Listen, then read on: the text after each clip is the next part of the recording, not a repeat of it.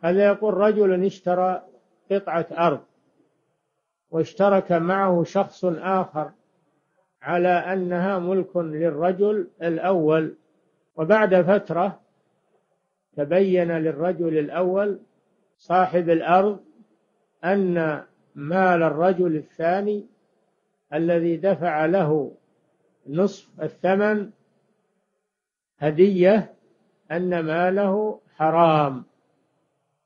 أن ماله حرام فماذا يعمل؟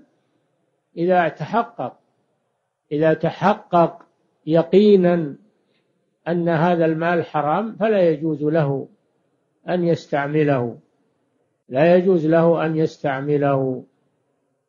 فعلى هذا الرجل أن يبيع الأرض ويتصدق بقدر المال الحرام الذي دخل فيها يبيعها أو إن كان عنده مال هو إن كان عنده مال فإنه يتصدق بقدر المال الحرام الذي دخل عليه يعطيه للفقراء ويتخلص منه.